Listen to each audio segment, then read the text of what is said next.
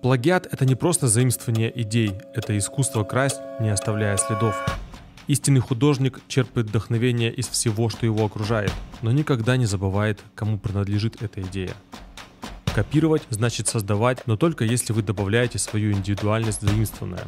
Воровство – это одно из самых низменных преступлений, но подражание – это первая ступень к мастерству. Ответьте мне на вопрос, то, что вы сейчас видите на экране, это воровство или подражание? Это заимствованная идея или копирование?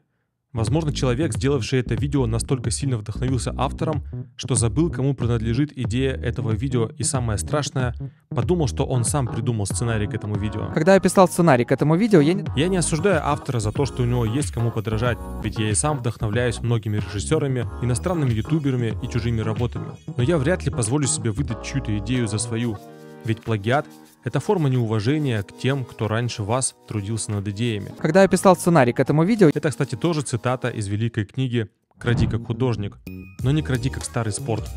Старый спорт — это название канала, который на первый взгляд может показаться чем-то новым в мире Ютуба и даже получить от меня дружеский хлопок по плечу. Но это только на первый взгляд. Все оригинальные идеи уже кем-то были придуманы. Ключ к успеху — это интерпретация. В искусстве нет ничего нового, и каждый создатель, будь то художник, музыкант, режиссер или блогер, заимствует что-то у предыдущего поколения. Однако настоящий профессионал не просто копирует кадр в кадр, нота в ноту и секунда в секунду. Он переписывает историю и создает что-то уникальное, основанное на вдохновении чьей-то работой, либо самим автором. Многие не понимают этих слов и говорят «я не спидил, я вдохновился». Поэтому у меня все кадры и монтажные склейки одинаковые.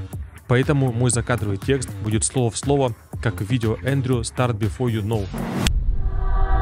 Sometimes I feel a little stuck. Иногда я чувствую себя немного беспомощным. Бывает такое, что приходится... There's too many options, and if I choose the wrong one, И у меня есть ощущение, если я сделаю что-то неправильно, то вся моя жизнь может рухнуть. Но, к счастью, я слишком много отвлекаюсь, поэтому мне даже не приходится делать выбор. Цитата, аллюзия, амаш, пародия. Эти слова имеют смысл, если при просмотре фильма вы чувствуем сходство с другим фильмом. Это может быть умышленное, как в фильмах Квентина Тарантино, вдохновленного спагетти-вестернами в «Однажды в Голливуде» или старыми фильмами про кунг-фу в «Убить Билла». Это могут быть кадры, отсылки, как дань уважения великим режиссерам. Например, в фильме «Выживший» Алехандро так и говорит, что позаимствовал сцены у Андрея Тарковского, так как очень уважает его творчество. Но наш автор пытается сказать, что его блог уникален, и это видео он придумал сам. Когда я писал сценарий к этому видео, я не знал, хорошим оно выйдет или плохим. То, что я порой вижу на ютубе, невозможно отнести ни к одному из понятий выше. Авторы отечественных каналов просто копируют сценарии видео иностранных каналов и выдают их за свои. Копируют сцены, ракурсы, дикторский текст, шрифт, цвет. Боюсь представить, что чувствует автор, читая восторженные комментарии под своим видео. Гордость, удовлетворение или все же стеснение за то, что он знает правду. Когда я писал сценарий к этому видео, я не знал, хорошим оно выйдет или плохим. Скорее всего, я получу ужасную реакцию от фанов старого спорта на то, что сейчас делаю, и, возможно, мне прилетит страйк от этого канала. Но я слишком часто стал сталкиваться с понятием «я вдохновился». Всего хорошего. На момент финализации этого видео автор добавил строчку в описании, кем он вдохновился, и при этом все-таки забанил меня. Ну что ж, ему видней.